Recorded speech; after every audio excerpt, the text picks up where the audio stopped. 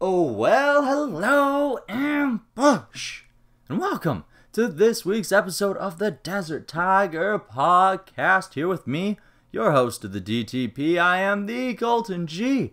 And this week on the show, I am joined by Marie Nicola and Chrissy Newton, the hosts behind Alt Pop Repeat. What is Alt Pop Repeat? Well, we're going to give you a little bit of a description on that very soon. First off, we have to take care of a few things.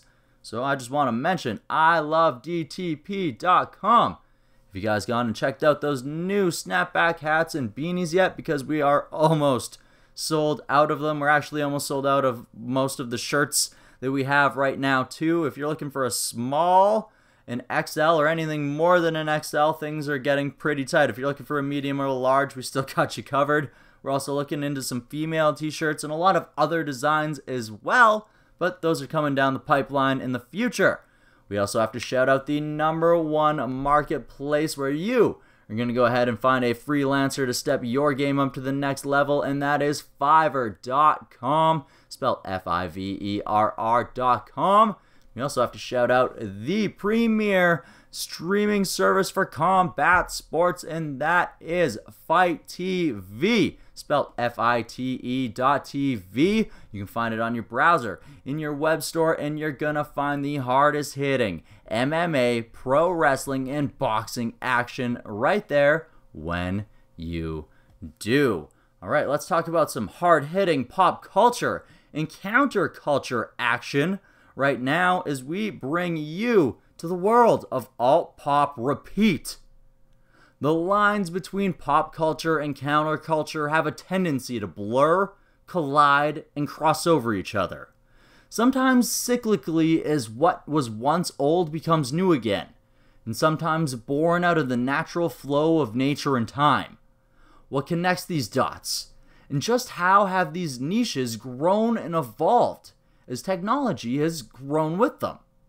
This is the question that continued to grow between PR powerhouse Chrissy Newton and badass media Swiss Army knife Marie Nicola, the hosts of Alt Pop Repeat. Both have been strongly connected to pop culture through their work in social media, while still finding themselves strongly connected to various countercultures ideas that, upon further research, they found reached much further than they once previously thought. This is where the idea for Alt Pop Repeat was born. The universe had brought these two powerhouse creatives together so that they could combine their years of experience like Voltron and take on all sorts of topics, like UFOs, what is punk anymore? And astrology, among many other topics, with various pop culture celebrities influencers, and commentators. So far in season 1, they have featured the likes of music legend Bif Naked, YouTuber Matthew Santoro, filmmaker Jeremy Corbell, and Canadian media icon and personal hero George Stroumboulopoulos with more amazing guests on the way as they aren't even halfway through the first season. Marie Nicola and Chrissy Marie join the DTP to discuss alt pop repeat. Along the way, we end up discussing COVID, aliens, cartoons, nostalgia, awkward teenage phases, TikTok, and all sorts of other counterculture goodness. Yes, that is right. So, why don't we go ahead and jump right into this conversation with the hosts of Alt Pop Repeat? The Desert Tiger Podcast. Hello. Hello. How are you? I'm doing fantastic. I was just playing with my dog for a little bit before I came Are up and got in this party here. How are you doing? I'm good. That sounds like a nice day. Very nice. Very, Yeah, very nice change of that's- pace. That's kind of how I've been starting my day. I have a dog too. So in the mornings, I because I'm obviously working from home, I um I just give him like cuddles. It's like the only thing I could hug right now. So Got to get as many of those in as you possibly can. What kind of dog do you have? uh, he's a Chihuahua Terrier. Ooh, definitely good for hugs then. Yeah, yeah. He's he's my fur baby. He now I'm a little bit concerned though when I like go back to my office and stuff like that, or when I start leaving more, that he's gonna have separation anxiety. Yeah, for sure. Just because he's probably become used to everything else, right? Yeah, uh, and it, it's yeah. He's I've noticed that even I'll go and take the like I live in a condo, so I will go and take the garbage out and down the chute, and he just he'll cry for like a moment. And I'm like, Hmm. geez, I'm like I've left the condo for like two seconds.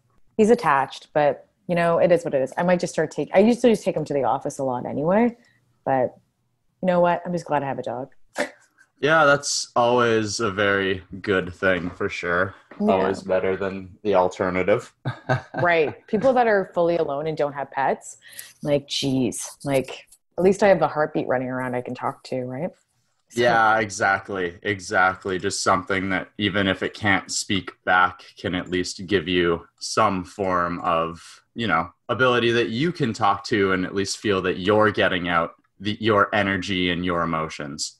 yeah it's well and even just to have something walking around that's just your you know that's not yourself right so Yes, very Yeah. true to hear another presence. yeah which is nice how's the podcast going Um, the podcast is going really good. We actually just released our 100th interview last week. So, congrats that's amazing yeah, no, I'm uh, pretty excited considering it's just something i decided to start when I was forced to take time off of creating my own music. So it's like, well, considering I never thought I'd actually carry this for two and a half years because I was known as quite a procrastinator before these things. I'm pretty happy that I've carried it this far. How's Alt Pop Repeat going for you guys? I just crushed like all of the episodes. I'm loving it so far. Oh, are you? Thank you. Yeah, it's it's good. It's it's a labor of love, that's for sure. Marie and I are, you know, she's like dealing with the. I'm just messaged her and I'm like, where are you? Um, you know, I know she was like literally told me she was jumping on the call, so maybe something's gone on. I know her computer's been a little bit whacked lately, trying to jump on calls. But anyway, um, Like- uh, here. hey, there you are. Okay, good. I was saying that your computer was a little bit whacked before when we were trying to do a Google Hangout. No, no, no. I got that figured out. Okay. Um, yeah, it's going well. I'm like, we, we, you know, it's a labor of love. I'm like, Marie's like been dealing with the website all day today. So in like past couple days and I know. Yeah. Coding, hey? I'm in like tag manager hell right now.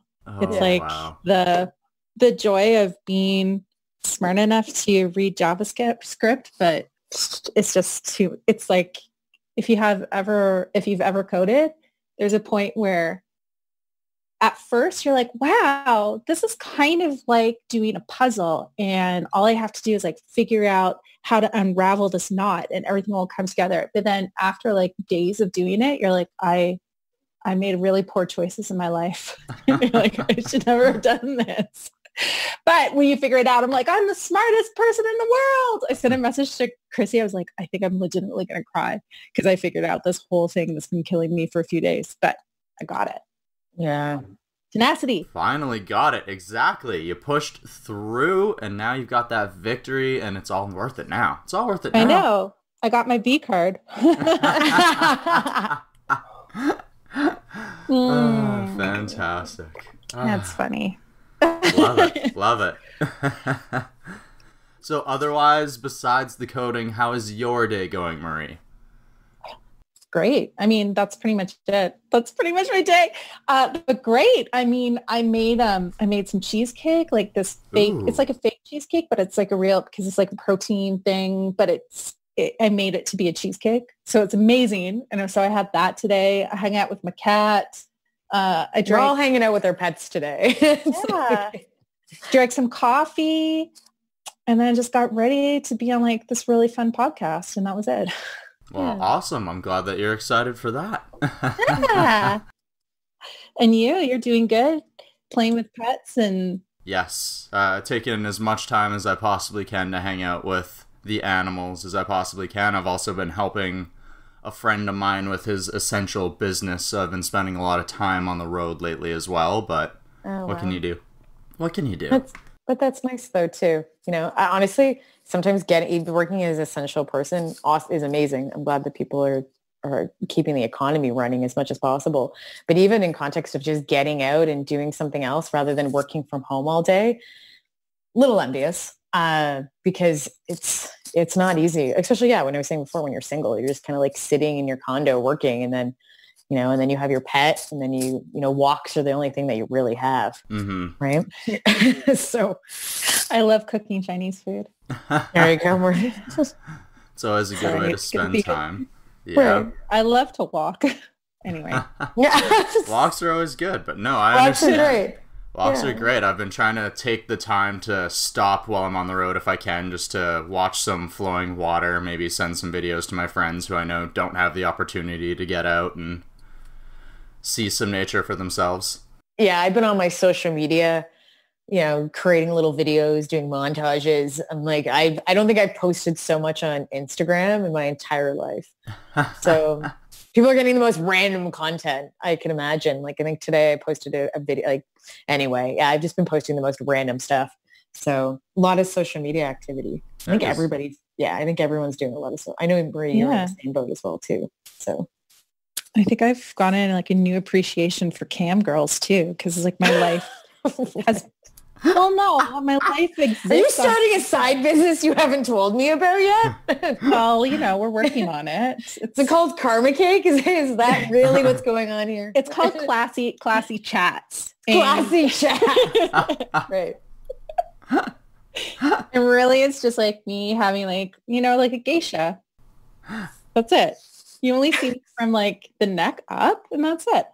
Um, but no, like my life has been on chats. Like we've been having group chats and birthday parties and, you know, group lunches where my friends and I will like all order lunch together and then we'll go into a Zoom chat and have a little meeting.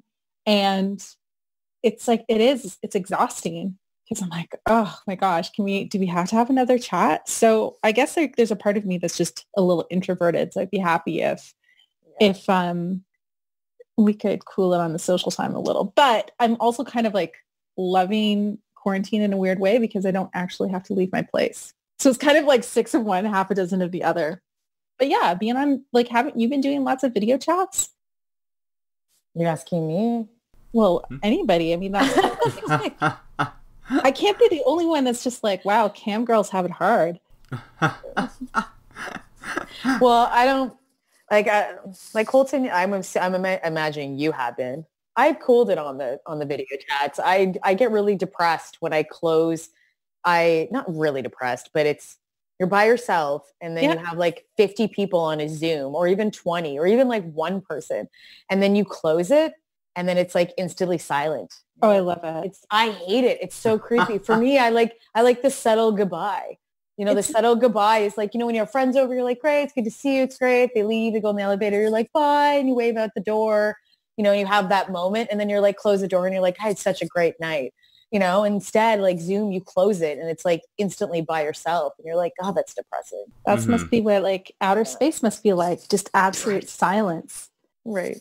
What about you, Colton? That's a really good comparison because I never thought about it like outer space because like normally when on weekends like I'm at events and I'm hugging people when they're over and you're saying goodbye and Right. you get this moment but being from another province like when I try and contact anyone from back home most of that is already audio chats or video chats so right now most of my communication outside of the world is pretty much all through video chats and other things. So even that small amount of like personal experience I do get on my weekends is just I am really really missing that because as nice as the audio is is just being able to even just like see the expression on other people's faces in person Yep. is just so much different than on video.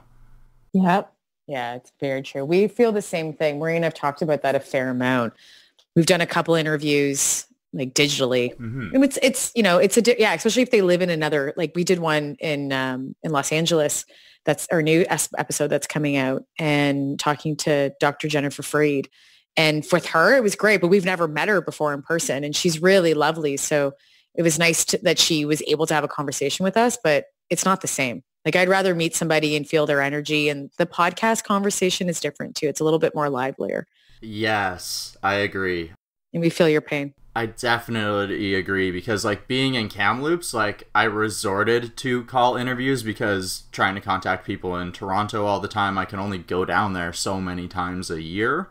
Yeah. But even then, it's just if I can get an in-person interview, I will drive hours in order to make it happen just because I prefer being able to actually get the experience of seeing someone because the energy in the room and the energy that ends up coming through the conversation is just so much different. Like this is still an amazing opportunity, and the fact that we have this is just very fantastic. But at the same time, just being able to see someone else's energy and vibe off of it and read it and flow off of it is just something I can't wait to experience again. Yeah, we're we're all in the same boat too. And I know Marie and I both like to travel. That's the other part too. Like the same with you. I enjoy the traveling part and getting to the destination and then meeting with the person and then like creating a relationship with them. It's just you can like I know when we go back out to Los Angeles, we'll go meet Jennifer and create a, an in-person relationship with her, but I just it's just easier to be able to to do it off the bat, right? Mhm. So For sure. yeah. I mean, we're, I think we're just like saying the, uh, a very similar story in different ways. It's just Yeah. that we're missing contact with other people. And I mean, especially like when you're doing a podcast and you're so acutely aware of what that interpersonal interaction is like because you have that experience and then to go abruptly without it without it entirely you're like wow i'm starting to really take notice of all those visual and interpersonal cues that i've begun to rely on that told me that okay the conversation is over but it's time to switch to a new topic or that they're happy with me or they're confused with me or all any of these things because i mean it doesn't quite translate the same way online. Like i met up with a i saw a friend of mine like um like weeks ago and she was dropping off some cookies and we were social distancing so she dropped off the cookies and like thank you so much and like pick them up and we're maintaining the six feet this is the early days of the quarantine we are maintaining the six feet distance between us or uh, the measurement or two meters or the measurement of three geese as the signs in toronto were sharing what? have you not seen that No, I've not seen that. the signs all around the Only city in right now. Toronto. Only in Toronto. the signs in the city right I'm gonna It's like- measure it by beavers now. Like, mm. come on, Canada. Well, I mean, that's two Jeez. meters, really. If you think about it, from tip to tail, that's quite. But one goose, because I guess it's like geese season right now. it's one moose. It's it's a, you have to be one moose apart. That's a that that's silly, guys. Like. Three goose or one moose? right. So geese, one Canadian. Yeah. Um, Yeah. but yeah, that's what, how they're measuring it. You can see, but they don't have it in feet. Obviously, it's two meters or three geese. Um, so now I know how how long three geese in a row are. Um, but when she she drops it off, we're sitting there and we're chatting. But the the conversation was really uncomfortable because there was something about it because we couldn't be in each other's personal space. Like we couldn't have that. I don't know what you call it, like this electromagnetic exchange. I don't know if there's some sort of um, energetic exchange that happens when you're having chats with people. And then when it was time to go, it was so awkward because we're so used to like hugging each other to say goodbye. And we're like, uh, I, but you have to verbalize it. And you're like, well, I guess I, I should go now. It was really nice seeing you. And I can't wait to see you. And then you're kind of overcompensating for the lack of, of um, closeness for the other person. So it's just yeah. the whole thing is even when you do see people in person, it's so bizarre. Mm-hmm. And then it's like you see people crossing to the other side of the road because they don't want to be in your space and you know why they're doing it, but it still feels like you're being rejected. It's just Well, I- real. Yeah. And when is the day that like is, is someone going to tell us? Is the government going to be say you know is a day going to come out and be like you can all hug now and touch each other? yeah. Like, how is when it, how are we going to do this? That that's what I'm really curious to say. Like the government, you know, like now you can have five people at your house, six people at your house. At that point, then you're like, okay, you know, obviously we can we can touch each other. hmm So I don't like that's what I wonder, you know, is that we're gonna get a memo that it's okay? Because and it's funny because not everybody has COVID that you know. Majority of people staying at home, you know, and really following the guidelines are fine and they don't have COVID. But it's so crazy that we've been taught that even like even your friend that's been staying at home for like two months doesn't have COVID, that, you know, you're scared to touch them. Like it, there's a Yeah. psychological thing there that I've been thinking about for a while. But we are so taking over your podcast right now, Colton. Dude, no worries. I was say like, this is- yeah. See, is this is the thing. This is the thing about Desert Tiger is I shine a light and illuminate other people with this. My bonus episodes are where I get to t- do the majority of my talking. So like we're getting to know you and part of getting to know you is getting to know a little bit about your guys' world. Yeah. Well, I mean, this is basically like this. This is This is this the is it. podcast. This is our This is podcast. it.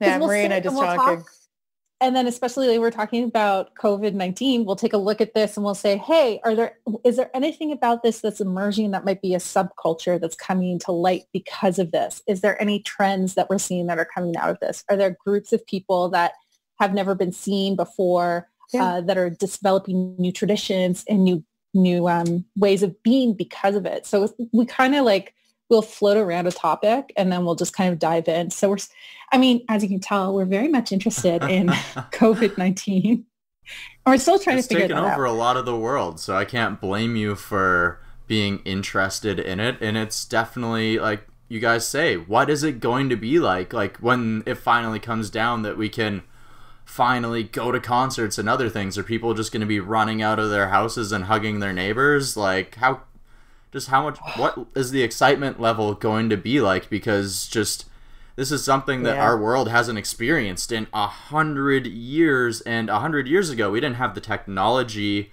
and we didn't necessarily have the forms of entertainment that we have now. Uh-huh. Like movie theaters are a lot different, like concerts are a lot different, and like the general idea of everything is how are people going to react themselves when we're Yeah. able to do this is it just going is everyone going to be just overly ecstatic or are there going to be some of those people who decide like maybe i enjoy being trapped inside of my house like That's Well, I think it's gonna. Marie's Yeah, like, it's me. I'll be like, I never want to leave. yeah, she's gonna be Can't take me campaigning. Yeah, she's gonna be campaigning the the COVID lifestyle. They're gonna be like trying to like pull me out of my apartment. My arms are gonna be like wrenched in the door frames and like you Right. can't make me. But I think once we come out of this, we're gonna start seeing there. I really do think we're gonna start seeing um, new subcultures of people that are really rallying around like immunity viruses and pushing back even more from government because we're starting to see that now. Like we've been in quarantine for what eight weeks, seven weeks, eight Yeah. weeks at this point. So, and we're starting to see the arrest is starting to come. So from that, usually there's there's some degree of cultural shift that's related to that. So to what degree, I don't know, but I think a lot of people are, a lot of people in groups. Yeah, I have I a don't know. feeling What do you that- think? Yeah, I have a feeling a lot of people are going to start using because they get so comfortable having Zoom chats and doing digital conversations that that's going to happen even more personally. And then I think on the work side, work-wise, people are probably going to revolt a little bit because a job that you were told that you can't do at home, you can obviously do at home. So Obviously. Right. So I think people are going to revolt a little bit and say, especially if, you know, and corporate companies are telling people they need to come into the office more. I think they're going to say, no, I want to work at home because honestly, it's a, it is a great lifestyle when you can do it at times and you can manage it and you can, you Yeah. know, manage yourself. Yeah. I think that's going to happen. And I also think commercial real estate is going to go. So at that point, it's it's going to go. It's going to be really, really cheap, obviously, to get probably rent somewhere. But I have a feeling a lot of companies are going to start changing the way that they work because people are going to demand it. Honestly, I if I worked for a corporate company, that's what I would be doing.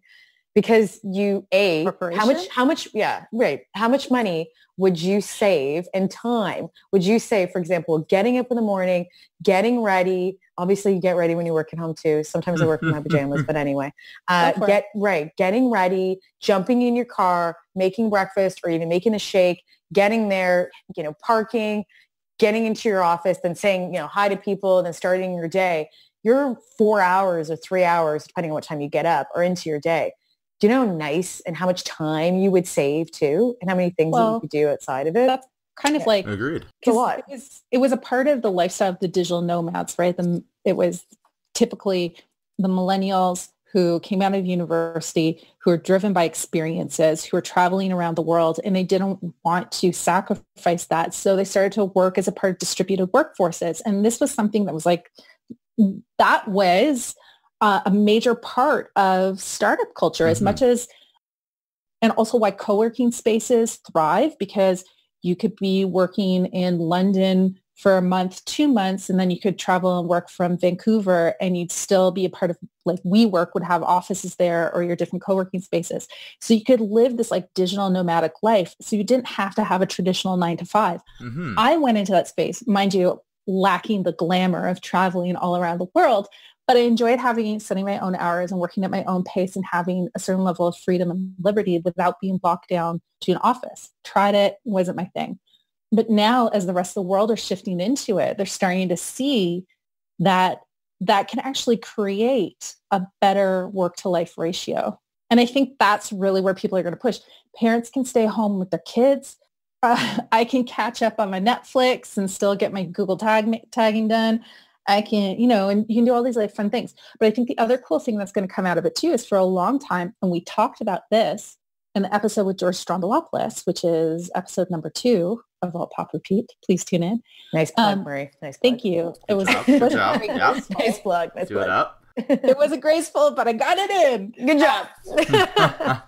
but we did it when we did the episode with George. We talked about the what we've we've constructed with social media, where we have this huge court of public opinion that is just so unforgiving because they hide behind a screen. oh, incredibly unforgiving. Yeah. Incredibly unforgiving. However, now we're all living behind a screen, so we're a little bit more sensitive, I think. And even seeing the I see. conversation, I don't I think like- so. I've been. I've watched the trollers. I actually went on a meme on Instagram and I couldn't believe the trolling. The trolling was insane. And one of them was hilarious. So I had to like comment back and I was like, best fight ever and then left it alone. Hmm. But like, this is hilarious. Ah. So I don't usually participate. I just kind of, you know, and I don't really, I'm not a troller. It's just not my thing. But I've seen the opposite. I've seen people troll like crazy now because everybody has opinion. Open, close, open, close. Like, what are we doing with the economy? And everybody thinks that they're economist. Everybody thinks that they're the mayor or the or part of the government. Like everybody has a comment or an opinion. It's crazy. So I think I think the opposite. I think trolling like is increased immensely. Personally, well, I, I, I obviously I disagree. maybe they've been maybe their comments have been right. Maybe their comments have been a little bit less aggressive maybe during COVID, but I just feel I, and I've actually participated in more conversations on my Facebook than I Oh, ever. I hope have. you were going to say like, oh, I was participating in some more like digital witch hunts and go out No. flames some people. No, no, I don't want to. No, I'm Do gonna it. Flame. your trolling? Yeah, no, with, with your trolling persona. Yeah, My- do you have a trolling persona? No, mine's just I'm just uh I'm a I'm a watcher. I'll watch, but sometimes I just laugh because usually I just find them hys- hysterical. Someone, so, like one of the other ones though that I was laughing was like best fight ever is this woman called. There was a comment about if that 70 show and Friends are the same episode, like the same the same type of show, and I disagree fully because I know. Oh, I disagree shows- entirely. Oh, totally Just wait. disagreed. Right, right. So then I Well, then looked at the com- just wait. I looked at the comments, and so this other person was like, "Yeah, they're exactly the same. It's all for the boomers, boomer remover." I'm like, "What?" And then this other woman comes in that's you know like in, I think she's 36 when I looked at her Instagram account because I was curious to see who these people were. Totally did some stalking, and she said she called him a fetus. She was like, she told the millennial that she was like, what do you know, fetus? And then the guy responded back and was like, I have nothing to say because you called me a fetus. And I went, who, what, what is, what is this? What is this? And then I wrote best fight ever. And then he ended up actually following me. They both ended up following me on Instagram because I, I, I trolled it, but in a funny way because I thought the, the conversation was hilarious. And and and first of all, I, I yes, that 70 show and the Friends are not the same show. Not the same Like, show at no, all. Like not at all. In It's the worst show of all time ever produced, in my opinion. I think it's it is the worst. It makes me want to take a dull spoon and just gouge my eyes out every single I they're disagree. I love They're Friends. horrible human beings. The only person, the only redeeming, kind-hearted, and consistently good person on that show is kind of Joey. And the rest of them are horrible. What? Joey, No, he's not. watch the show He now. was sleeping with all of New York. He's like, Why don't you don't like don't sleeps with them and then slut-shame gets rid of them. He's We're like, slut shaming Joey. I am. You're gonna do Joey like that. I am doing Joey like that. Yeah. I think Chandler is the one that's probably the best out of all of them. You know, he always think? he works at that nine to five job that sucked. And then when he got older, he decided to get into advertising. So he became an intern. He's always sticking up for his friends. He's so committed to, to Monica. They've got like a great relationship. They're best friends. They love each other. They communicate well. Yeah. Yeah. I'm going to, I'm going to go with. I don't know. There's legitimately a list. If you Google it, there's a little legitimately a list that's like 25 reasons why Chandler is the worst character on Friends. and they're not kind. Oh wow. No, okay. I will admit that they're not very kind friends in most regards at all. They're not kind to other people. I No, would no, say- no, not at all. They're, Not they're great to each group. other, Mhm. right? But that's like Seinfeld. Seinfeld was the same way. You couldn't get into into that group with Seinfeld. They were always like chopping somebody. Well, How I Met Your Mother. Yeah, best show. Love that show. Big Love that show too. And even then, like, if we're gonna compare shows, I'd compare Friends a little bit more to How I Met Your Mother. Yes. But even then, still, very different shows. Yes, agree. And same and that 70s show is high school kids that are like 16, 17 and 18. You know, they're not talking to 20, 30 year olds. Very different conversations and they still live with their parents. Hmm You know, and they're talking about like how they lost their virginity and and it's it's all very different and how it's filmed and Yeah, Life experiences. When yeah, you know that out- that's like a that might be the that's the that's a I don't know if somebody's as a millennial is watching it and I, first of all I don't even know how they assume that a boom that Friends is a boomer show. It's not. It's not a boomer show at all. No, and even to say that that 70s show is a boomer show, like, how? I don't know, like how old were boomers in the 70s? Maybe they want to reminisce. Hmm Like it it is written around the context of the time, but when you're following the life experience of the youth who are the generation who are coming up and who are going to be the change moving forward, which is what our younger generation believes and feels that they want to be as well. So I feel like that almost speaks should speak to them as opposed to being a boomer culture. They should I feel like they should relate to that almost. Yeah. It's an awesome show. We need Hi. to, we have to call a call a millennial in right now.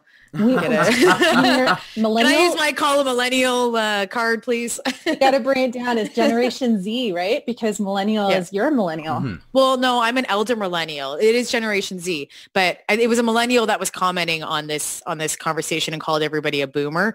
He's a millennial. He's not a Generation Z. So I'm an elder millennial because I'm 36, but I'm the last year for or the first year of a millennial. Sorry, and then I think now millennials are 2021 now. hmm They're around there. Yeah. And that's even just a giant difference between like what you say an elder millennial and we'll say we'll call it a fetus millennial to to say to compare it there. So the difference between someone like myself who's 29, 30 years old and someone who's 21, 20. Yeah. The experiences that they had going through high school are completely different. The movies that they watched, the politics that were going on in the world around them. Yeah. Completely different environments.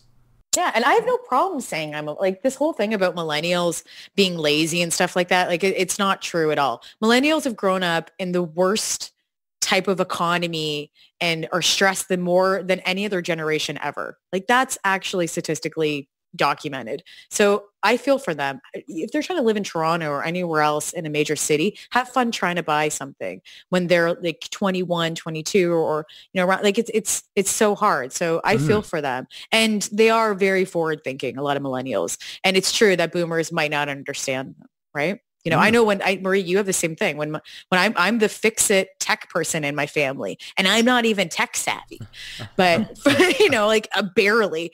But I'm the one fixing the Google Home and like setting up Netflix and doing all this other stuff for them. And they're like, my dad's like amazed, and my mom's amazed. They're like, "You're a genius." I'm like, "Not really, but keep thinking that." You know, I'm like, "We're gonna keep with that idea," but but for them they have no idea. So but before you know now it's kind of the tables are turning a little bit. They're like wow my daughter like is really bright and like knows what she's doing and stuff. It's like i kind of always have as a millennial growing up you just never really considered it. I just like, I don't know until why. they started getting a lot older so. That just reminded me of whenever like whenever I was younger and I I okay this is how am I going to say this? It just triggered something and this is the classic me like derailing everything but uh, when you're saying like your parents are like you're the you're the most techie person ever it reminds me of when I was a kid and I would go visit like my grandparents or elderly relatives and they're like, oh, you know, I've got to move this chair. And I would pick it up and they'd be like, Marie, you're so strong. And I'm like, it's just a chair, guys. He's like, but you are the strongest person ever. And I was like, yes, I am. I'm a superhero. like, I, I feel like amazing. So on one hand, it's like really annoying to have to be that person for your parents or other people. But at the same time, I mean, it's so validating. It's so mm-hmm. validating. They're like, how did you get my email to load into my email client? I'm like, oh, you don't need to know this information. Just call me. Just call me whenever you this problem Just comes up me. again. Yeah, if I'm a tech if I'm a tech wizard in my family, you're a tech god in yours, that's for sure. I am a tech god. Yeah. So with your with your coding knowledge and skills, oh. I mean, levels oh, above oh, me. So I mean, whew. yeah. When I there's times that Marie was like, I asked her this morning, and she's like, "Oh, the website for Pop Repeat." She's like because like we do all we do all of our stuff in house um, mm-hmm. so when and we do it between each other and we have a, a friend as well that uh, is a, that produces with us too and helps edit and stuff like that shout out to andre um, but anyway uh, so it's mainly just it's a small small group right it's a tight group and marie this morning sent me she's like oh the website and I was like, is there any way I can help? And then, you know, she sent me a picture later and I'm like, JavaScript. And I'm like, no, you're on your own. Like, I have no idea. I have no idea how to get, even if I wanted to try, like, no, like I, maybe it would take me all day to even look up stuff to how to understand to remotely read Java. So mm-hmm.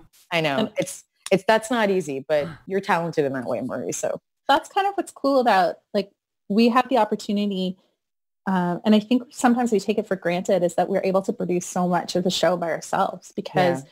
I mean, even just Chrissy being a PR publicist, me being a digital marketer, and then the other related skills that we have, the backgrounds in doing broadcasting, communication and writing, you name it, even like project management, delegation, hiring great teams, grant writing, etc.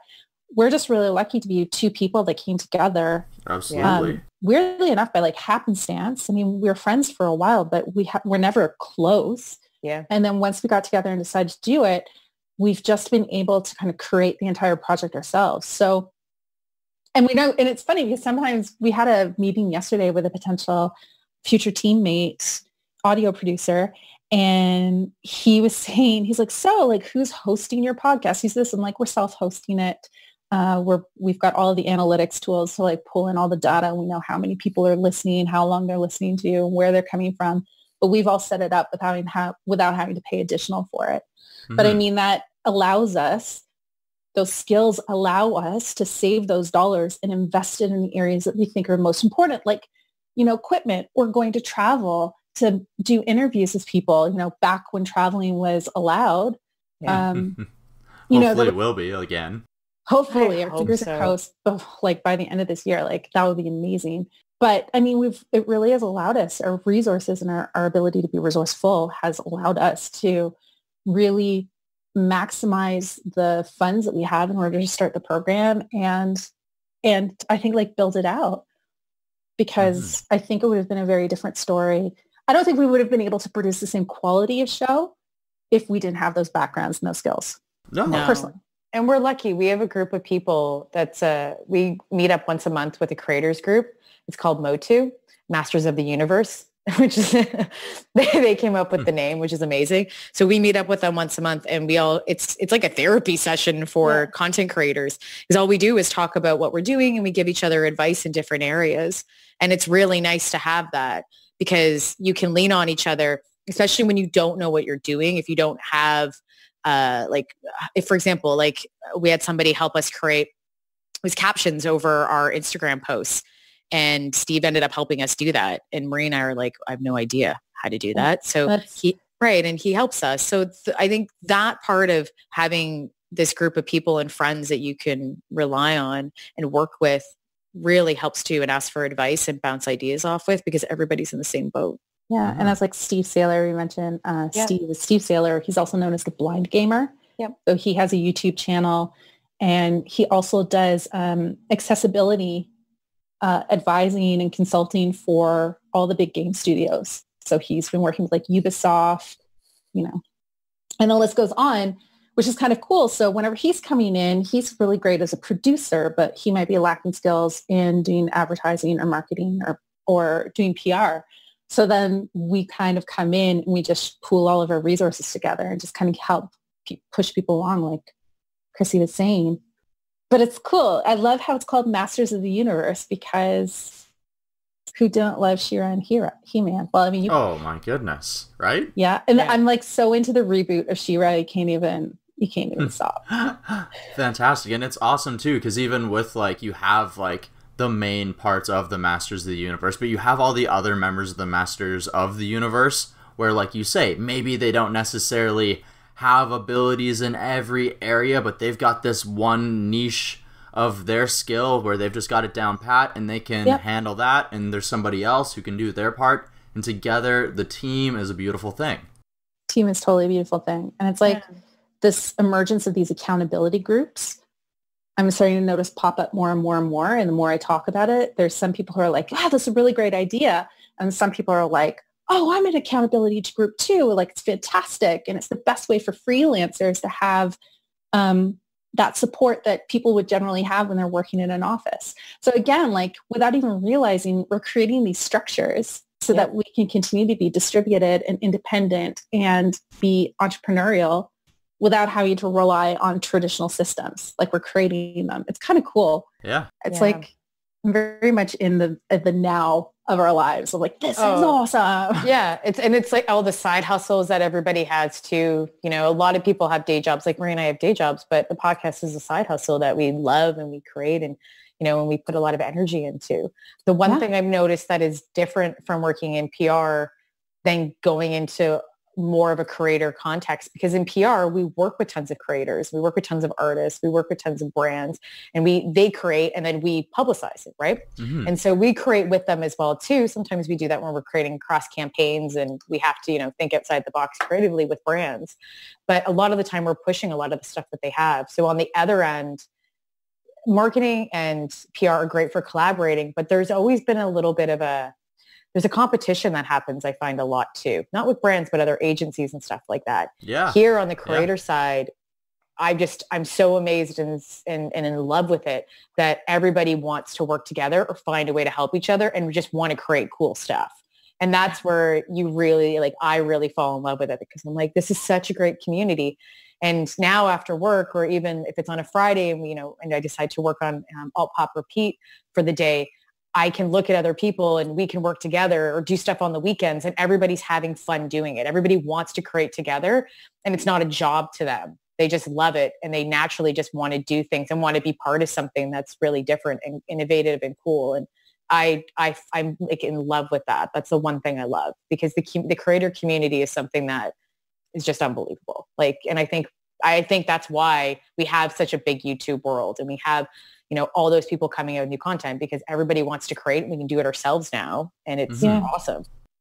We don't have to have we don't have a big company doing it for us. Mm, and even to continue to connect this to alt pop repeat, like 10 years ago, like with the beginning of YouTube and the beginning of podcasting, this was a very counterculture movement at the beginning of things. And now we've seen the development of creators starting to realize that they can use the crafts that they have learned or they can even use things like YouTube from other people who have taken their craft and shared it and you can go and you can learn whereas before you would have to go to chapters and buy a uh, video editing for dummies book and or even go to a class for it and pay tons of money for these things as well Yeah. Yeah. Oh, it's so so true.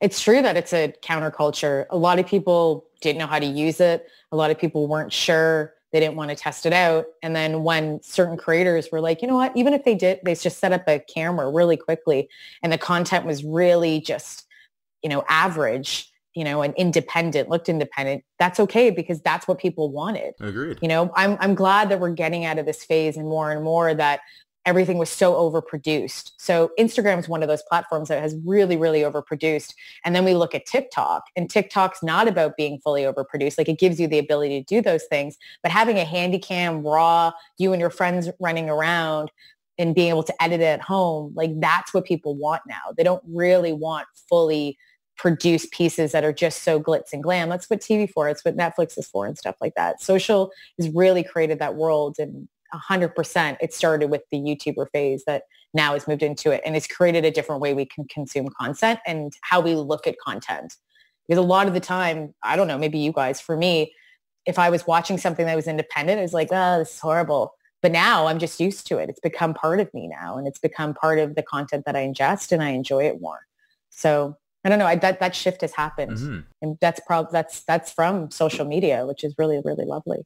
Yeah. Well, I mean, it's it's the there's like these basic tenets when social media started to emerge, and it really came because we had like before Twitter, and obviously like Facebook existed for a spell only on university campuses, but Facebook was very similar to like Circle of Friends and these other kind of like really early social platforms. Hmm and we had MySpace, which started to die out around the time that YouTube started to emerge in like 2005, 2006.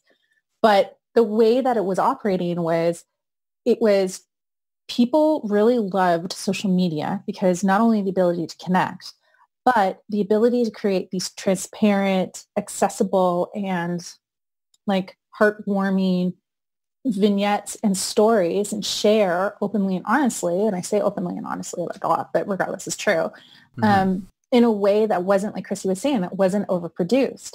And we got away from that because then we started to get into the platforms. We really started to master the platforms and we started to kind of understand the hacks and what content are people gravitating the most towards and what's driving the most clicks and what do people want. And then we saw that for a period, people were really driving for that aspirational, you know, area. I kind of blame the Kardashians for it because keeping up with Kardashians also is really big. And they were showing a very aspirational lifestyle, a very wealthy family. And they just kind of like snowballed. And so with that, we started to see more people creating more produced content on Instagram and all these other platforms that are coming out. Mhm. But we're so tired of it because there's nothing to connect to. You're connecting to an image of a person. You're not actually connecting to somebody in real life. You can't relate to it. So this like area of relatability, I think is that's like the most powerful thing. Even the newest influencers on Instagram now are are not producing heavily. They're like all younger. Also, sidebar, why is it on everybody on TikTok is like 16 and they're all stupidly hot? Like, did you? I did not look like that when I was 16. what happened to the awkward phase? Happened? Please tell me. I don't think that exists anymore. Because That like doesn't I was an. I was an ugly duckling from between like twelve to like twenty three, and I don't know what happened to everybody else because they just skip right past that phase now. They do. I just feel like there's something they're missing a period, a humbling period in their lives. They will never get back. Maybe that's actually maybe that's what they call like they're peaking too early. So by the time they hit 23, when the rest of us are kind of like growing into our looks and we're not tripping over ourselves or as much, they're all just going to fall flat. So Because who knows how it's going to affect their confidence and everything else once they've felt like they've already been this way. Once the years of age start to get to them, is it going to hit them harder than it's hitting us who maybe feel we're graging more gracefully because we didn't necessarily have that gap or we skipping in between where we had those awkward phases. Yeah. I had those awkward phases. Oh my God, I went through a whole phase where I only wore like I was committed to chokers and headbands. And that was like a hard, like I want to say a good one and a half years of my life. And I had this one headband. and It was like a daisy headband. And I was like, I am going to be like this nouveau 1960s hippie Deee-Lite kind of girl. That was like my vibe. And I was into it. Now looking back, I kind of regret it because I also had really big glasses. So it wasn't a great look. But hey, like I, I had that experience. Yeah, but Mhm. if I was if I was 14 right now and had the internet and beauty makeup tutorials and like skincare products that are way better than Noxzema, you know, I would we'd be looking better too. Very Like, true. they- you know, they've come out with a lot products and just consumer brand wise have really upped their game and also makeup tutorials. Like nobody was contouring when I was in high school. You know, we were wearing like horrible lipstick and you know like not blue eyeshadow but mm-hmm. close enough and like really bad blush and you know like lip liner brown lip liner like it's just it, it wasn't pretty I liked your look. You showed me Right. pictures of you in high school. I was like, you're cool. You also had like those. Didn't you have a pair of the Tims with the heel on it? I did, yeah, yeah. A, it was a. Beyonce boot. Yeah, I really liked that. I still like fashion as an adult, but yeah, I really liked fashion when I was in high school. But it doesn't mean that you know I was I was one of I grew up in a, a country high school, so imagine like head to my Instagram. I'm going to pro- promo myself here. Go to Atmos Vocab, and you will see my high school. That was a semi-formal outfit. I was wearing like army and like Tim's and like oh yeah, like I was full on Girl, you know, trying to live like- my Beyonce Destiny's Child lifestyle, you know? your country, your country high school is like Oh, yeah. so is much cooler than what I. I was like, you're a big city man. If you could get Tim's without having to drive all the way to Halifax to buy them, you're living in a big city. right, that's true. So we should explain. So I'm I grew up an hour outside of Toronto on a dirt Okay. road that that was rural and I went to like a rural high school, so very farm, you know, hickey high school that I that I love. Mhm. And I still have friends that I talk to that I've known since I was like 6 years old. And Marie's the friends are awesome. Marie's thank you. And and Marie is but she grew up a different type of like country lifestyle. Like you're an East Coaster. So I'll let you explain that. But we both did not grow up in PEI. Toronto. Yeah, yeah. We no, were not did not grow up in Toronto. No. But I was like Summerside PEI. Like I can't legitimately. My town was not even a city. It's city. It was classified as a village. Um, Okay. and then by the time I was like in my teens, we had become a town. But then we reverted because then they got rid of like CFB Summerside. So then we didn't have enough population to be a town. So we went back to being a village. And then somehow we had a boom when they built the bridge. And then we became a city. But I think we had like one person extra. So it was like we had like 18,000 people. And I think we had 18,001. But because we had that one person, we qualified as a city. So then we got like the whole city was like excited. It was like this cute little movie. There's, there's like this British movie where this entire town uh, is defined by this mountain that they have. But when they actually get somebody in to measure it, they realize that it's actually just a large hill and the whole entire ah, town is ah, like ah. devastated. So it's kind of like what Summerside was. Summerside was like, we're a city because, you know, we weren't. And then by the time we had, we're like, technically we're a city now. So we're just going to call ourselves the city of Summerside and we're going to get a new coat of arms. We're going to have a big party and it's going to be great. And let's hope nobody leaves. so Huh. that's kind of like my, my town. It was cute. We had a lot of hmm. lobster, ran in fields made of sunflowers and um, played on the beach all day. Yeah, Hmm. see yours yours is yeah, see that's that's nice. Mine was go to a country high school. We like, you know, would go to like go to Tavistock or like Stratford. That's where Did you Justin have Bieber ragers grew up. though? Hmm. Yeah, we did. But then we yeah, we'd have bush parties and then Oh my I- goodness. yeah, I had a friend Yes. yeah, I, yeah, we were very much those high school kids, and then we would go and have yeah, like bush parties, or we'd have house parties. So in like grade nine, we'd had a house party, and I totally told my parents that I was going somewhere else, and then I lied to them, obviously. And then I went to this rager house party, and then what we would do in Tavistock, like it was like a weekend thing. Somebody would have a rager, and then the cops would show up because they have nothing else to do in the country but to to break high school teens house parties up. And then they bring out the searchlight, and then we'd run in the field because you had to run uh-huh. away and the only place you're going is into a cornfield or just a, a you know, field in general and then you All your cars are behind you, of course. well well no like most of the time we were walking or our parents are dropping us off so Oh, dang. right right oh yeah because we weren't driving when we were four, like 15 so Mm-hmm. you know and so by that time you know when we started getting cars it was different but they would drop us off and then or drop us off at a friend's place and then we'd all walk over to the house party but then the cops would break it up and then they bring out a searchlight and then the searchlight would like scan the field and we would run and then they were looking for us and we'd hide behind stuff and yeah it was a it You weird. had, like- I, like never like that's what I that's what like what city people would do like when you know getting into Wow. trouble. Do you Yeah, have we were- we flashbacks now when you watch ET? right.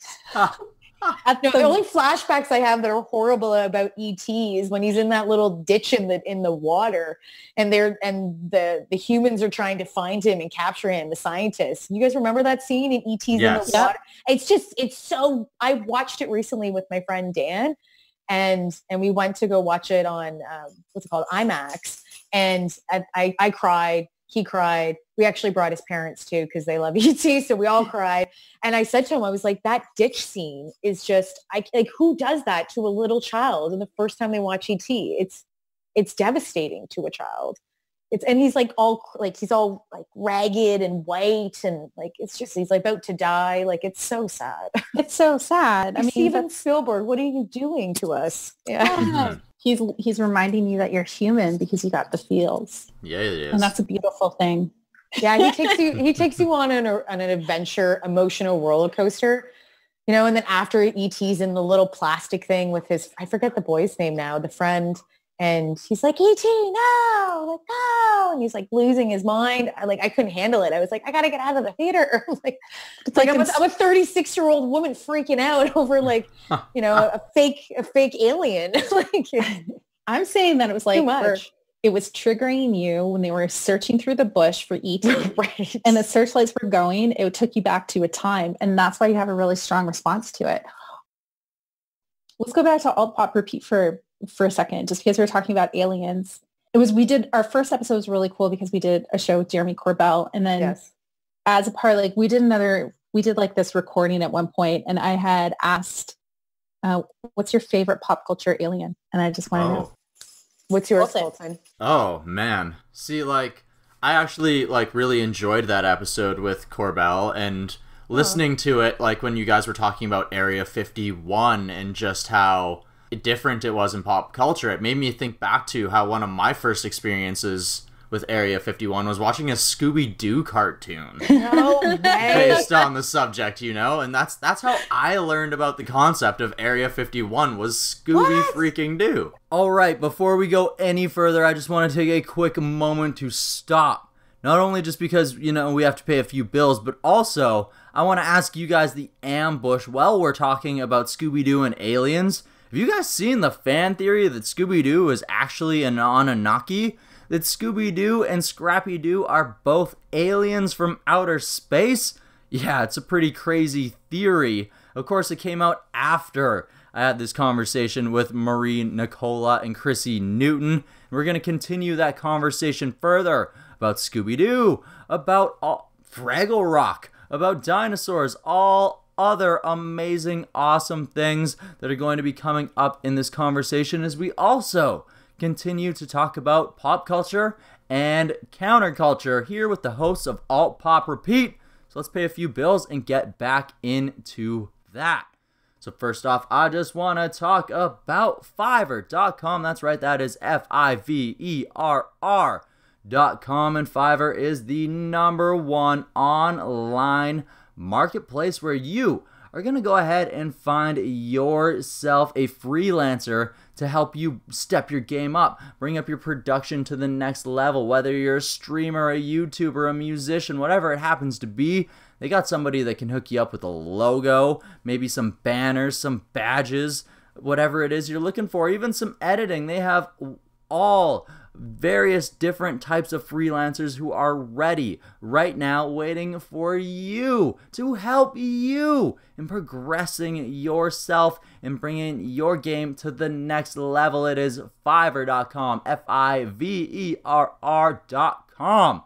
we are also brought to you today by the largest online streaming service for combat sports and that is FITE TV Yes, FITE TV, spelled F-I-T-E dot TV. You can find it on your web browser, and you can find it in your app store. And when you do, you're gonna find the hardest hitting combat sports action around because not only do they have incredible pay per views that you can go and pick up. They know that some people are hurting still during this time of the COVID crisis, and that's why they've gone ahead and launch the FITE 24 7 channel so that they constantly have something going on. Plus, they have amazing free content on FITE TV as well. So, what are you waiting for? Get in the App Store, download it, and get in the action today.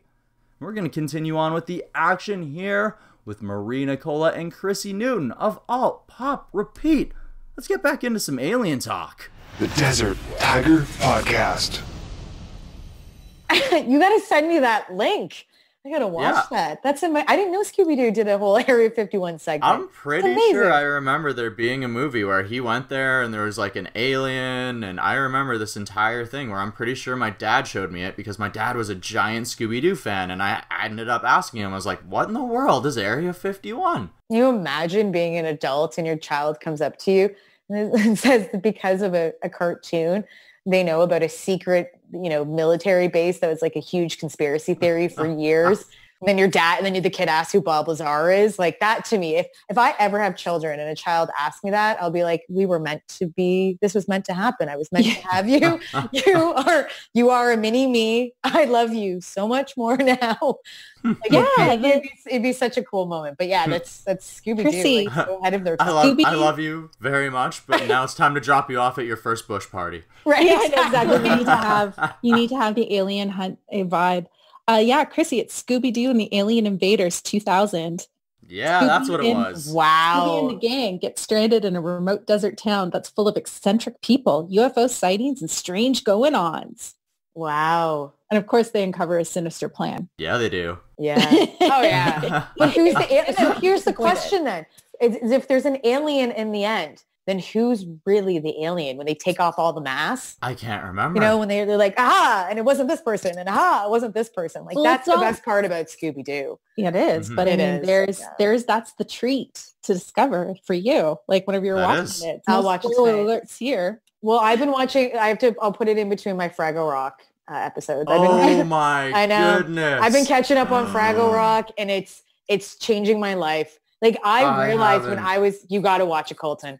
I haven't seen kid- that show since I was a kid. Like Yeah. honestly, Fraggle Rock and Dinosaurs. I haven't watched Yes. either of those shows since I was a tiny, tiny child. And Yeah. both of them are incredible. honestly, like I realized, um, I watched, I went to the first episode of Fraggle Rock. So I'm like, I'm going to start from the beginning.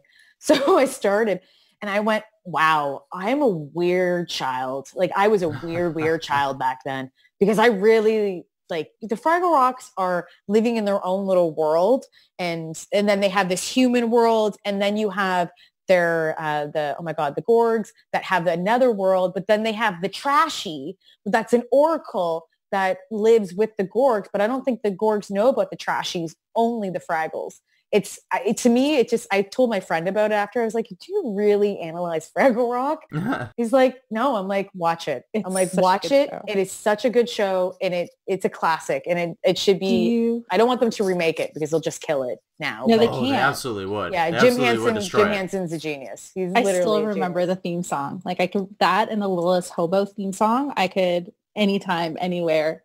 Oh, I'm yes. I'm just like every time I think of Fraggle Fraggle Rock, I think of like Wembley and Gobo in the Yeah, red. I can I can picture the like screen of the intro in my head right now and just them singing. yeah. Go watch it. Go watch it again. it oh will my god. good. I Yeah. need to. Yeah, I will. need to. Wow. Yeah, it's and, and honestly, the writing is really good, and you realize how wonderful Gobo is. Like the, all of the characters are just so good, and and then they have little songs. So you know, again, I'm gonna shout out to my Instagram. I did my montage. I was like, I did a progression of my progression of feelings during COVID and a Fraggle Rock montage. So I took Wembley singing about him staying in his place and him never going anywhere. It's this beautiful little song.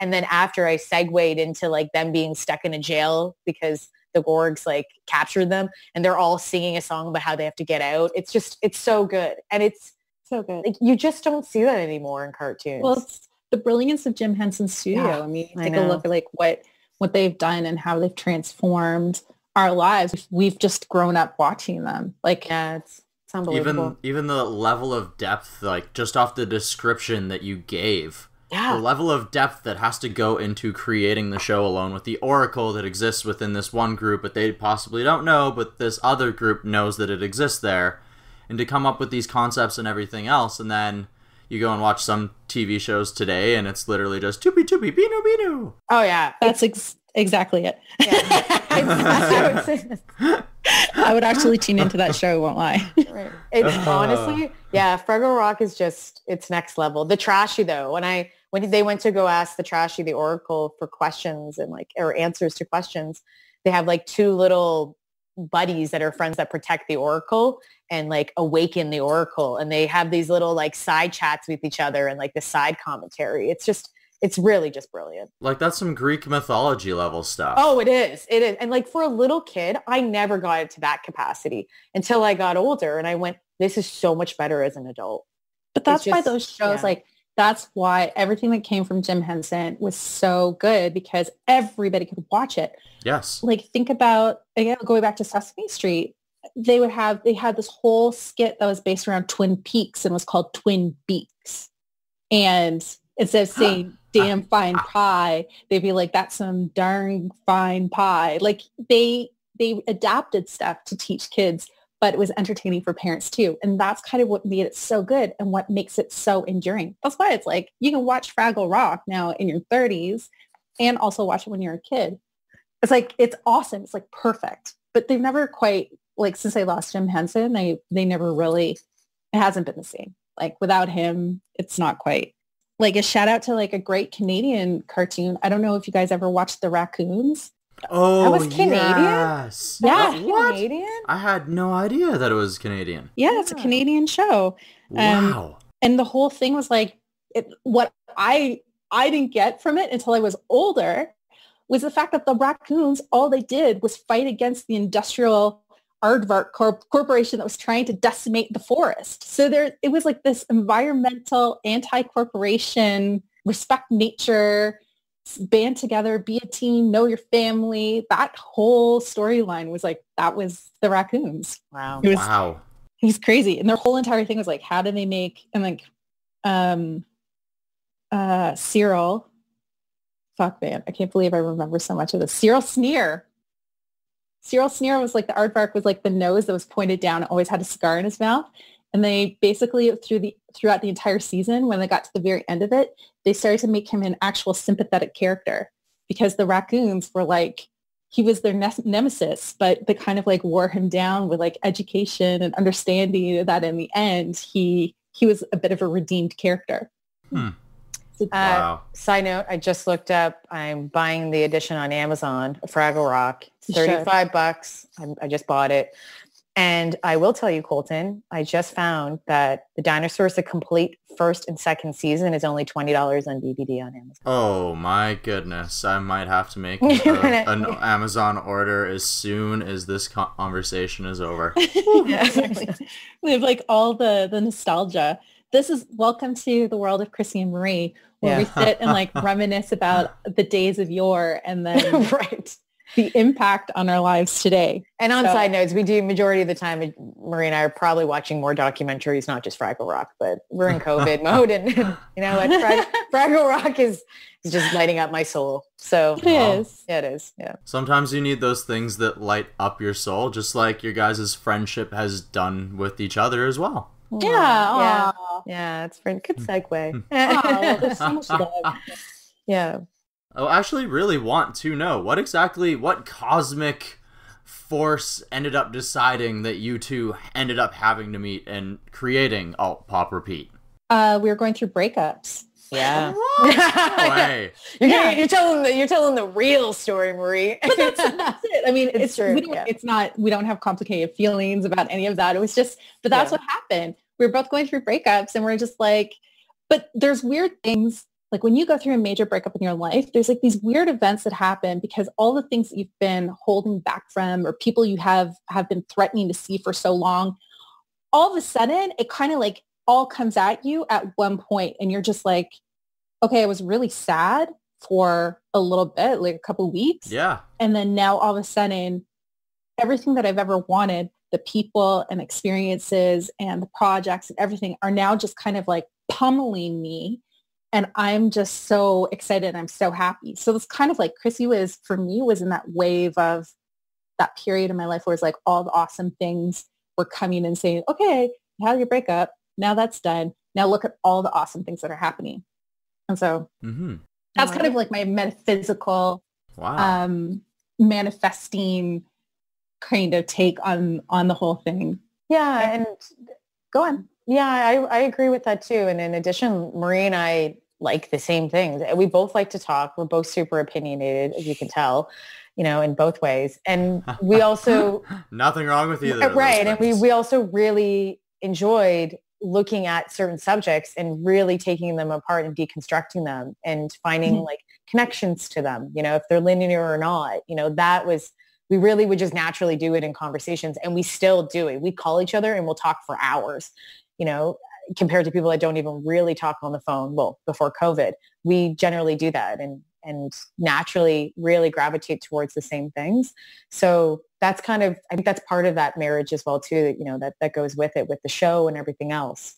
Yeah, I think and, and obviously like I agree that there was something that probably brought us together. We were going through similar experience in a similar time and those things really come together. And you know when you go through hardships sometimes really great crafts and really great art and different things that come out of it or stuff like podcasts or you know maybe Marie and I'll do a painting next. Like I don't know. Hmm. Like, I don't know. But like really good things come out of shitty times. And a really great thing came out of a shitty time would- what I would say is is alt pop repeat. Can I say shitty on the podcast? Is that okay? Well, Okay, okay, Absolutely. okay. I um, already dropped the F bomb at least Right. once. So Right. cool. And I am perfectly okay with that too. yeah too. so i would say like that's that's it and then also yeah it opened up a lot of other doors you know i've always wanted to do another side of being a content creator since i've been younger you know that's always been something that i loved and you know i think we we feed off each other we're you know we both have a love for content creating even though we work in pr and digital there's another side of it and we both get to express it which is really really Yeah. cool yeah and it makes it, makes me happy like in the end of it i said to marie even if this doesn't you know say our show didn't you know, it doesn't have like 5 million listens and whatever. I don't care. I'm, I'm really happy that I'm really thankful we have an audience right now and it's growing for sure. But I'm just really happy I get to do something I love because it makes me happy a lot. Mm. yeah. Yeah. Even if you make just a small impact, even with like an audience of a couple thousand or a couple hundred thousand, even if you don't hit a million mark, even then, like you're gonna influence somebody down the road, and that somebody is going to go on to create something more and may even possibly end up connecting with you later on. And who's to say that what are you two gonna end up going on to create as a team for or down the road? Yeah. Yeah. And that's Yeah. we're like because we have um we bring to the podcast different opinions and different thoughts and we don't always agree on things. But we have this fundamental and wonderful trust between us that allows us to have those differences of opinions and share them with people where we're not like we're not all sunshines and roses the entire time. We are not always these like poly positive Pollyannas all the way through the show which I think makes us a little bit different than some other people because we're not trying to be anything other than ourselves. And we're not trying to do anything than represent the best of what we know in the world at that moment. And the other Mhm. thing is, is that when we're talking with people, and I've said this before, we've done like interviews with, um, with some people before. And I said like, look, like don't hold back. Share what you say. Put, put yourself at issue share those opinions because this is a safe environment. And we're not here to create drama like not drama but you know controversy for you. But we want to be uh we want to represent our audience fairly. To ask the things to put our own ign- i'll say ignorance is a really strong word but to put our own um our own shortcomings out in the world and have those conversations so that other people know that it's safe to do that. So if i have terminology that i've been using forever that might be considered insensitive to some, then I really trust Chrissy and the guests to be able to come back to me and educate me otherwise because I think that also makes for a stronger show because we're also showing people that you can have positive Mhm. conversations without jumping down people's throats all the time. Sure. Well, you need to be able to grow as human beings as well, and growth requires you to learn from your mistakes. hmm Yeah. Exactly. 100%. We're not perfect. Right. We're And No. learning. You know, and maybe in next season we and I've talked of things like getting because we have a lot of pop culture people that are part of the show, which is which is part of the show as well. But talking Mhm. to people that really live more in the counterculture world, you know, could be a second season with us. And those conversations are for sure going to be a little more difficult because you'd have someone like an MRA or you have somebody who has a very, very distinct difference in opinion between Marie and I. So those questions are going to get harder. The conversations are going to get harder. But like Marie said, we're not here to attack anyone. We're all here to listen and say, well, here's a platform. You tell us what you think and we'll say what we think and have a discussion on it. Because that's how I think you create understanding. And that's how people start to listen to someone else's side. They don't have to agree on it. Marie and I don't have to agree. But what we can yeah. do is give a platform to say our side of it along with them give theirs and have a real discussion of why these things happen and why they affect people and why that person might think that.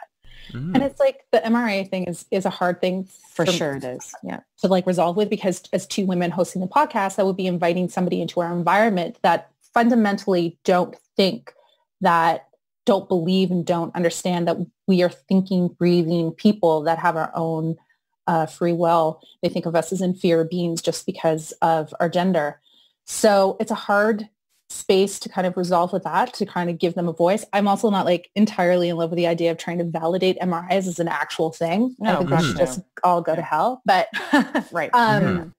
But the other side of it too is like, it's a good point on going to controversial topics because pop culture pop culture as because uh, obviously our show alt pop repeat because we didn't say this a little bit earlier alt pop repeat is an exploration of the counterculture subcultures and alternative cultures that have driven and fed pop culture. So we map out the sinks between those sub counter and alternative cultures to pop culture. Like what is the watershed point? When did that happen? And how are we see, still seeing it manifest in pop culture today? Yeah. Pop culture is not created in vacuum. And all of these little subgroups here are, those are quite often relating on, on topics of our history, race, sexism, you name it. Because some, a lot of it is a part of cultural appropriation even. Mm-hmm. You know, and that's what really makes it hard for a lot of people to dive into this topic if they're so committed to the way that they are and what their belief structures are. Chrissy and I don't have that. So if we're going to go into a conversation with somebody who is a major player within like the modern Black civil rights movements, then we're going to have an open and honest conversation with them because we want to learn. We're going to put our, our, or, well, I will, I can't speak for Chrissy, but I'm going to put my own prejudices out on the table because that's the only way that our listeners are going to get that reflective to really see it show, like shine back. Now I'm an ally. Mm-hmm. I'm an ally of all. I love everybody. But at the same time, I'm a product of my conditioning. That's mm-hmm. it. I have a certain level of privilege as somebody who is white passing. I am like Arab and I'm British. So I've never had to struggle with the same struggles as somebody who's grown up black. And that's cool. And I want to like learn more. But again, that's putting myself at issue and the things that I've, my conditioning and the things that I've learned at life um, in order to have a really profound and and worthwhile conversation about cultures and appropriation that help driven our, our pop culture today. So yeah. it's like a hmm. big exploration. Yeah, and I would say even the counterculture side too. You know, we talk a lot about past counterculture that influences present, but we have a lot of, like you were saying before, Colton, you know, a lot of counterculture that's happening now.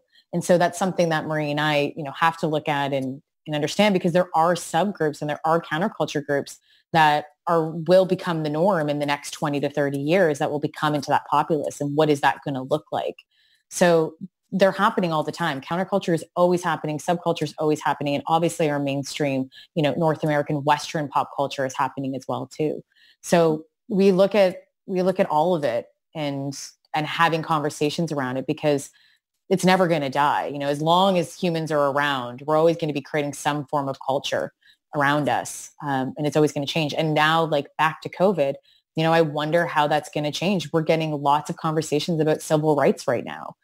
You know, how is that, is it moving forward? Is that going to change the way that civil rights are? Because obviously civil rights is a, is a counterculture movement in a, in a time that has obviously now what we, we look at mainstream populace and we see how everyone has different rights, right? Yeah. Because of people that went through really, really hard times for us. But now we look at, wow, we've never been able, you know, some people in different countries are stuck in their homes and, and, the government's telling them they can't leave. You know, for here, certain things you can't do, you're getting ticketed going to certain places. That's, that is 100% taking away different liberties as well. Mm-hmm. So out of COVID, we're going to have conversations that are counterculture move, movements. People are protesting now, things like that. Some maybe a counterculture will come out of that based yeah. on civil rights. So and, yeah. oh, I don't know, but that, but that, that's, that's the end of my thought. But, I, but, but, um, I, I'm very curious to see. And hopefully this show keeps going even longer so that Marie and I, you know, we get to look back at our first episode and go, wow, we were dumb. And then, you know, or we're like, man, we were brilliant. I know, I'm just joking. But then we, then we look back, let's say maybe 10 years later and we're like, whoa, like, do you remember that as counterculture? And now this is what we're in now. Like that would be, that would be the most amazing thing for us to be able to do is look back on what we've done presently and then comment on that and keep always, always like evolving and, and having different conversations about culture. Yeah. And it's like mm-hmm. going back to COVID, yeah. um, we are starting so that concept of privilege we didn't really know what that was like we we had a sense of what was to be privileged but now we really do because you can have if you have a home that you can quarantine in. If you have the luxury to quarantine somewhere and you don't have to go and work in the grocery store and you don't have to go and work on the front lines or be you're not one of those essential workers that is privilege man. How lucky are you that you don't have to go do those things right? Absolutely. and we're starting to understand that those people that are are making sure that our lives are still running with some certain like yeah. normalcy the men who men and women that are picking up our garbage every day, the police officers that are on our street, making sure that even though we're not all out in the street, that you know people's businesses that are shut up are staying safe.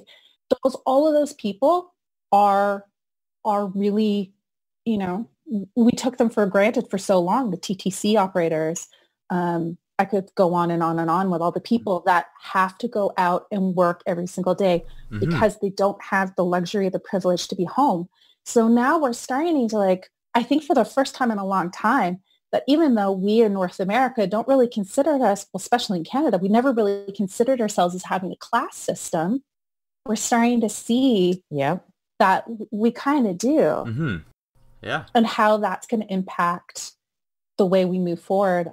I, I, I don't know. I don't even know. Yeah. Like, I'm just really grateful that I have a beautiful apartment that I can, you know, stay in and I can work late if I need to and I can paint my apartment whenever I need to and I can have like take time out of my day to have these wonderful conversations with you Colton that you know if I if I had to if I had to help keep society moving in a different way in an actual real functional tactical service level kind of way I want to be able to do that mm-hmm. so yeah, I agree and I'm I'm thankful that those people are we still have an economy because of those people. Mm. Yes. We wouldn't have an economy and it, we'd be in a really bad position if we didn't have people going out to, you know, work in grocery stores, doing deliveries, things like that. Agreed. Oh my gosh. And it also, it does, you're right, Marie. It, create, it shows for sure we have a class system and how we have to, you know, validate each other in different ways and respect each other and give respect yeah. to each other in different ways. Yeah, it's very we true. Pay our government to make sure that we have servants.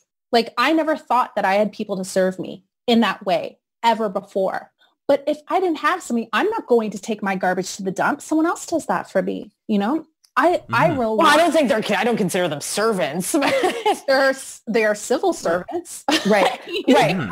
But but I, I yeah. thought of them that term, and I'm so grateful for the work that they do and yeah. what they do in order to allow me to live my life. Absolutely. I am just I'm privileged and I'm really, really thankful for it. But I never really thought about it. I was just like, oh, I don't have extra money, so I can't get a house cleaner. Uh, cleaner. I don't have, I don't have those like individuals who work as like domestics in my home. But the truth of the matter is, is that we've created a structure of, for society to because we're so lucky and we're so wealthy as a society that we're allowed to, as as a group to hire people to do all these small services for us in order to make sure that we're which is crazy. Like it's it's just kind of a different twist on on thinking on the value of people's work. It's so valuable. Well absolutely. Like even from my own standpoint like two days ago uh, our water heater went out. And you have to sit there and like that affects your ability to wash your hands when you get home and everything else. So like not only does it affect your comfort level it affects coming home and possibly dealing with other people? Are you spreading things onto other things? So then it comes down to like, can I even get a plumber in? And the fact that we could even get a guy in in one day, it's just like, it makes you really thankful that not only does this person exist, but like they're willing and able to actually take the time to make sure that other people have the ability to make sure that they're just alone clean. Yep and it's like let's go back in time back in time let's let's go back to oh gosh we could even go back to relatively recent times uh, a lot of people did not have running water in the way that we we measure running water. Yes. Back into like the 30s, even the 40s, uh, a lot of people didn't have it. It just wasn't a part of it. A lot of people who lived down in the country were living off of like well water. Warm water was something reserved for for the elite.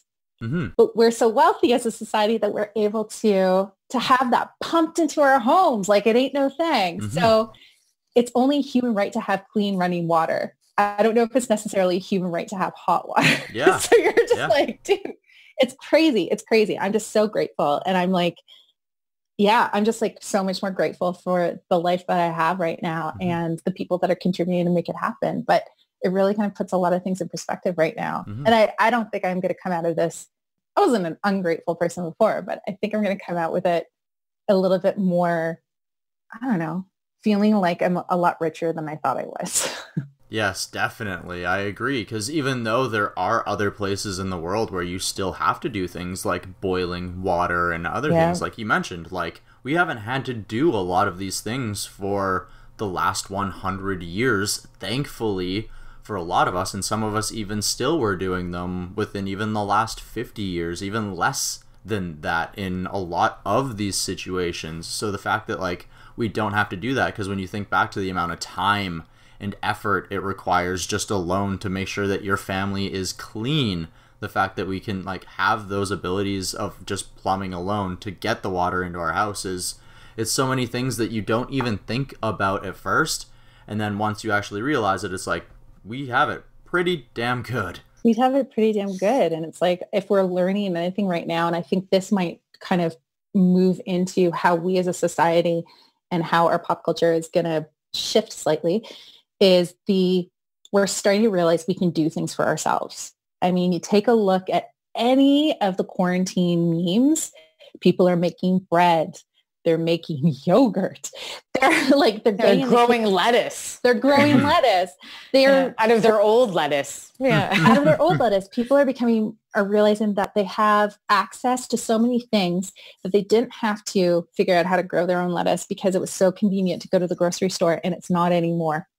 Where it was they took advantage of the fact that you could go and just buy bread.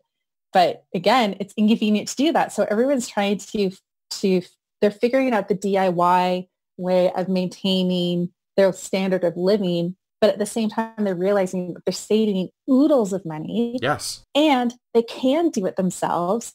And when they do do it themselves they get a lot more satisfaction out of it. So i'm really curious to see how i think that is going to be like a major piece on how we are going to be as as a society once we come out of this and i don't know like maybe it's like the pop culture tie-in would be like we'll have all those diy channels on on Instagram and TikTok are going to turn into, you know, megawatt channels and, you know, who knows? But I think it's kind of like this, it's bizarre. We're getting back to basics. Well, yeah, and this even this conversation we're having now, you know, obviously it will go up online and it will stay, and it'll be like a little time capsule.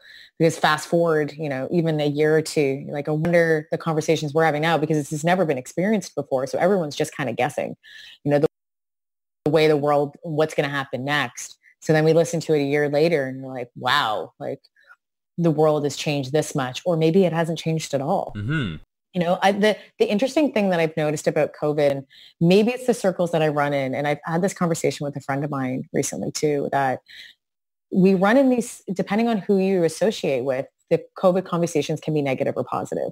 So mine have really been, you know, and this, you see that people really want change. So my group of friends and people that I'm associating with and all my social channels and everything that I follow is saying we need to come out of this with a different perspective. We need to come out of this with a different way of thinking and a different way of communicating with each other and the way that we we do anything now. We need to look at it and really observe and change our actions. That's the conversations I'm hearing on that side. And so I asked my friend and he said, I'm not hearing that. And I went, that's mm-hmm. interesting. He goes, that's not in everybody's conversation. And I said, yeah, I go, there's this collective. So I wonder now that because there is a group of people that collectively want change in multiple different ways. And then there's some people that just want to go back to being normal and go back to normality. yeah So I wonder not who's going to win, but how is that going to bleed together? And what is that going to look like? Because I find that all the optimistic, very, very optimistic people are saying, you know what, this is a time that humanity gets to restart. This is a new, you know, resurgence for them. This is a new time that we get to change how we act. And hopefully, I hope on that side that, that we run that way rather than the other thinking that comes into play and goes, I just want to stick to norm and we don't change anything. We go back to our, our ways that are somewhat destructive, I would say. So yeah, well, I don't think well, we're going to be able to afford to do that again. If you have the income and the privilege to be able to go back to, but we don't know. Mm-hmm. But see, this is the thing, Marie. We don't know because economically, we have no idea. We've never been in this position to know that how this is going to affect us in a recession. Mm-hmm. You know what that recession is going to look like. So we don't know if people are, you know, are going to have expendable money. Are we going to go back to people then? You know, how are we going to be consuming? Is is there going to be money? Are, are housing prices going to go up or down because of inflation? Yeah, we don't know. A lot of economists are are guessing, and there's tons of different you know ideas out there. So so we don't really know which way we're going to go. If, if housing rates go down, oh man, you know, or if they go mm-hmm. up, it can affect us in so many mm-hmm. ways. So just kind of like, but if but if inflation personal level, yeah. on a personal level, I know like I've saved so much money. Like my credit card bill, when in one month I went from spending maybe like $1,500 a month on my credit card on just bullshit the entire time. And then I got my credit card bill the other day and I was like $300. My mind was blown. And I was like, and I even looked at it and I was like, well, I didn't really need to get that. And I didn't need to get that order. But for me, I was like, wow, I have so much more power to save more than what I ever thought before. And that's kind of another big thing that I'm getting out of it. And I, I've, I've I wonder if other people are doing it. I also wonder if anybody else is getting as crazy as I am because I'm starting to wash my Ziploc bags. I don't really want to go out to the grocery store to get more, um, and they're perfectly fine. I just have to wash them. So I wash my Ziploc bags. I know people too. that do that yeah, as well. But so. I, but I, but I, but I've been doing that my entire life, though. You know, I'm like, I, I, it's so the, freezer bags are, yeah. It's well, what, why do you throw them out? Freezer, they can be used. Freezer bags can be used. I didn't want to have to wash them. I love how we just segued into well, freezer bags. It is like it's something though where it's like you think like oh well I had meat in here and it's contaminated, but you also had this on the thing that you cooked it on. You also had it whatever else you touched it with, probably your hands when you were seasoning it. So who's to say you can't clean the bag too when you're cleaning everything else involved in the process? Exactly, and you're saving things from going to landfill. So it's better for the environment mm-hmm. and it saves you money and agreed. You maintain a certain level of of being in your like kitchen and life, which I think is like it's a great 60 of it's like a cornucopia of goodness mm-hmm. washing your Ziploc bags. There's these crazy little things like you can save money and it's so much easier than we thought. I don't need to go and get my Uber Eats delivery every single day and I don't need to get you know, I don't I don't need to be as gluttonous in my day-to-day life.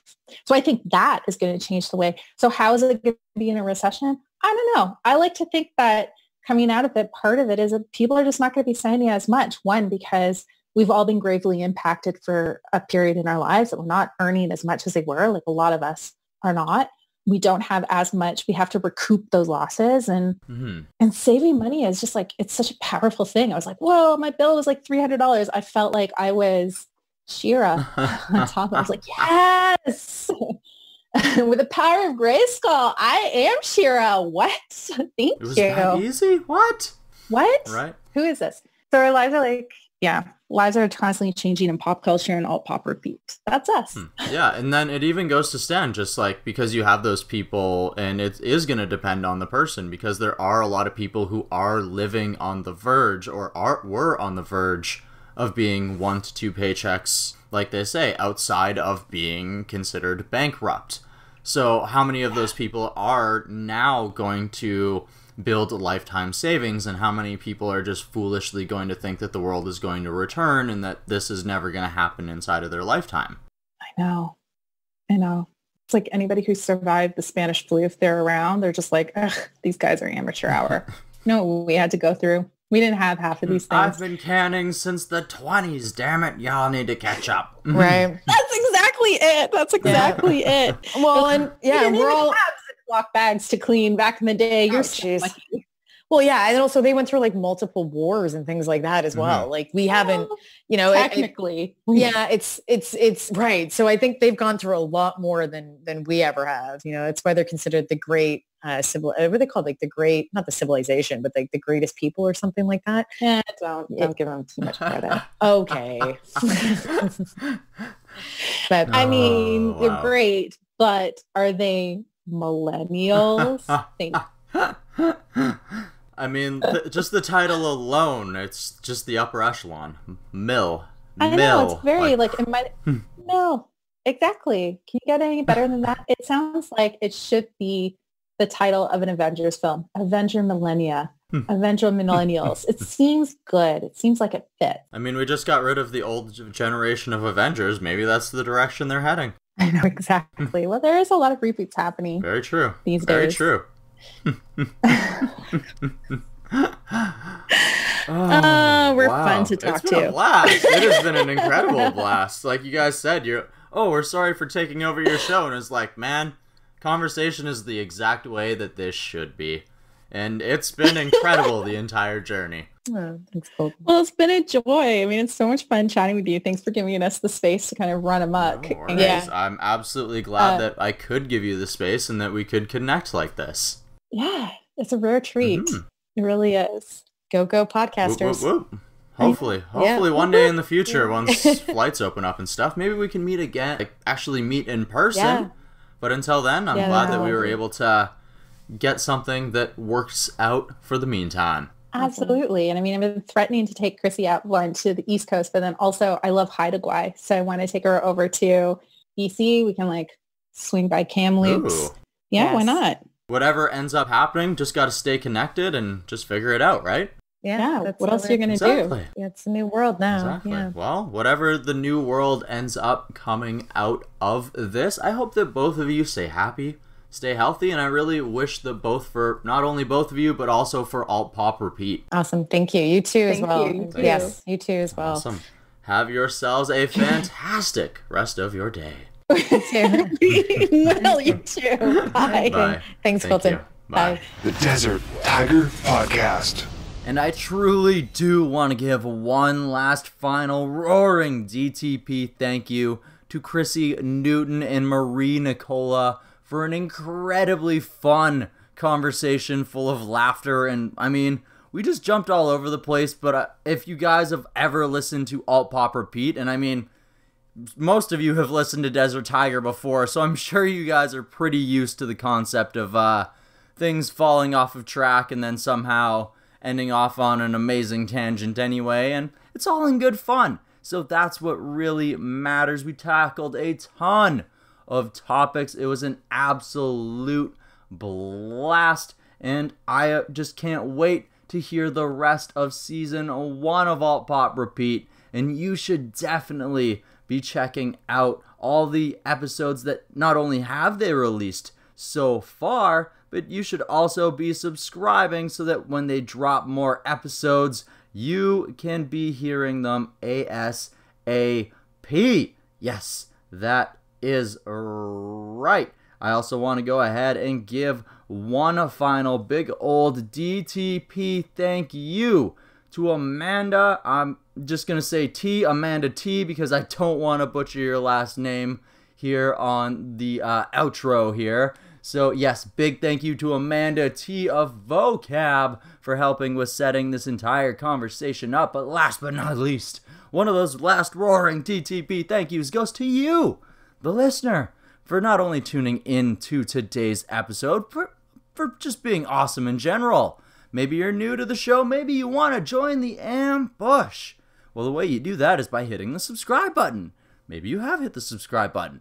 Well, maybe you want to review the show with some big old five stars on Apple Podcasts. Or we would also love if you could take a screenshot of this episode and share it on your social media. Tag us in it Chrissy Newton, Marie Nicola, Alt Pop Repeat, The Colton G, and the Desert Tiger Podcast so that we can show you some mad love for, well, showing us some love because you're beautiful people. Yes, you are.